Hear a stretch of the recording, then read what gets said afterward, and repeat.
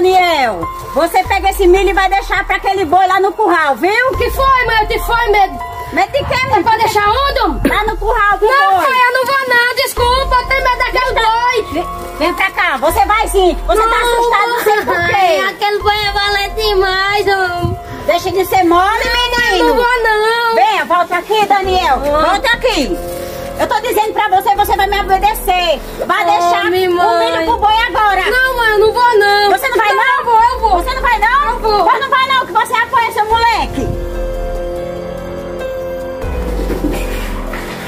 Dona Irlene, Que foi? eu vinha passando ali, vi seu filho morto, o boi matou. Que conversa é essa, mulher? Eu não acredito não, meu Oh, Deus. Deus do céu, tô Ai, meu- triste demais. Minha Nossa Senhora, a culpa é toda minha.